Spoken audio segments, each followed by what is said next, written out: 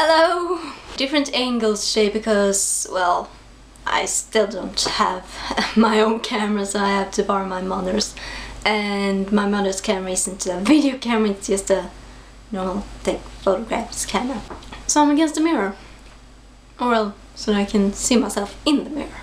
I'll do Alex Day's YouTube survey today.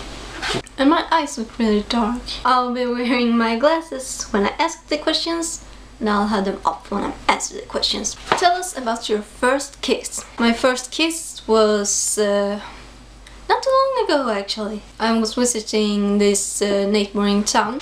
My, friend was there waiting at me at the bus stop. He had a lesson in school left, so he went and did that. Of course I went with him. He didn't leave me at the bus station. that would have been horrible of him. After that we went to a friend of his who lives on his own and uh, we sat down on the couch and we sort of started cuddling. I don't know if you really can call it cuddling but and then we just sort of started kissing after a while and kept kissing for like I don't know an hour what is the most expensive casual item you've ever bought? Well, I don't really know how much everything that I've bought have cost have been, but um, I would say one of my pairs of jeans. I have some. They're the most expensive, but yeah, about 600 Swedish crowns is the most expensive pair of jeans I own.